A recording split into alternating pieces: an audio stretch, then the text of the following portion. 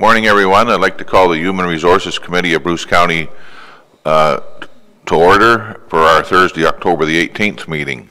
First thing on the agenda is the declaration of pecuniary interest. Remind everyone it's their own respons- responsibility to do so if and when an item uh, occurs. Action items is uh, fit for work update and Marianne. Good morning. Thank you very much, Chair. Um, So the uh, HR Department is bringing forward to you a new policy called, uh, well, an updated policy called E6, Fit for Work. And so um, basically, the policy is outlining our expectations of people when they are coming to work. So the federal government, as we know, has passed Bill C-45, the Cannabis Act, to legalize recreational cannabis effective October 17, 2018. Although there are no statutory obligations in Ontario's Occupational Health and Safety Act that specifically address substance use in the workplace, it is a best practice to implement a policy that deals with drug and alcohol use, including the use of cannabis, as part of our due diligence requirements. The primary impacts in the workplace with respect to cannabis legalization includes keeping a safe work environment, ensuring policies are implemented that protect the safety of all employees, address workplace impairment arising from substance abuse and drugs, both legal and illegal, including medical cannabis, while balancing the obligations at law pertaining to accommodation, specifically the Human Rights Code. The County Bruce is updating our current HR policy E6, currently uh, titled Alcohol, Drug, Emotional Problems, to reflect a new title of E6, Fit for Work. This update includes setting expectations and clarifying employee obligations in relation to impairment in the workplace. The Fit for Work policy sets out general obligations that apply to all employees. This policy affirms employee responsibilities surrounding impairment in the workplace and coming prepared fit for work. The county has approached the potential impacts of cannabis in the workplace within the context of a fitness for, for work framework. An amended policy entitled Fit for Work has been developed and rolled out to our and will be rolled out to our employees and supervisors.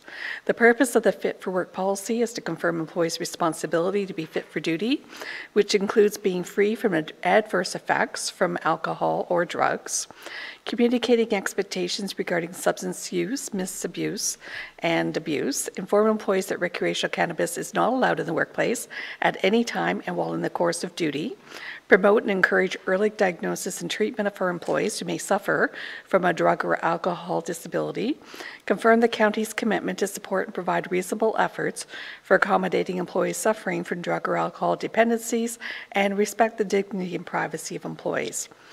Currently, the county's benefit plans do not include medical cannabis as an eligible drug in the plan coverage. To date, medical cannabis is not approved drug under the Canadian Food and Drug Act and does not yet have a drug ID number. At this time, drug testing for cannabis use is not included in the updated policy. If a future need is identified, we will investigate applicable case law and work obligations at that time. There are no financial, legal, or staffing IT considerations associated with this, and the senior management team have had this draft circulated. So the recommendation that the updated HR policy E6 fit for work be adopted. Thank you.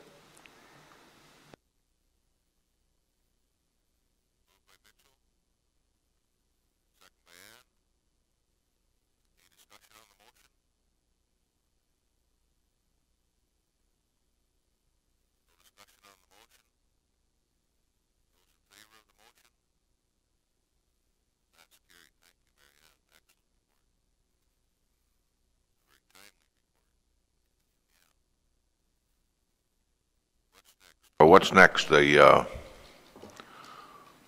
okay, there it is, their closed meeting. That the committee moved into closed meeting pursuant to section 239 2B of the Municipal Act 2001 as amended to discuss personnel matters about identifiable individual, including municipal or local board employees, and section 239 uh, 3.1 of the Municipal Act 2001 as amended for the purpose of educating or training members. Need a motion to go into closed. Moved by Robert, second by Dave. Any discussion on the motion? All those in favor of the motion? I'm assuming we're live, so we're back in open session with the Homes, uh, actually, this is the Human Serv, Human Resources Committee of the County of Bruce. And we're right down to, uh, in our closed session, we've, uh, we've uh, come out of closed and we've given direction to our staff.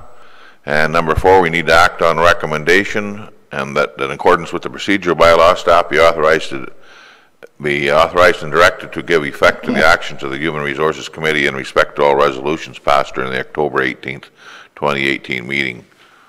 Was that uh, moved by Ann, second by Mike? All those in favor? That's carried. Our next meeting is November the 1st, 2018.